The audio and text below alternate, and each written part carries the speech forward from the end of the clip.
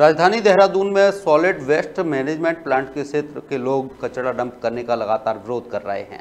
दरअसल शहर के 100 वार्डों में से रोज़ाना 350-400 मीट्रिक टन कूड़ा प्लांट भेजा जा रहा है। लोगों का कहना है कि डंपिंग साइट पर फिर से कूड़े का नया पहाड़ खड़ा हो जाएगा। वहीं नगर आयुक्त तो मनुज गोयल ने बताया कि लोगों के विरोध को देखते हुए प्लांट को शिफ्ट करने के लिए समिति बनाई गई है और जल्द ही ज़मीन की तलाश कर ली जाएगी।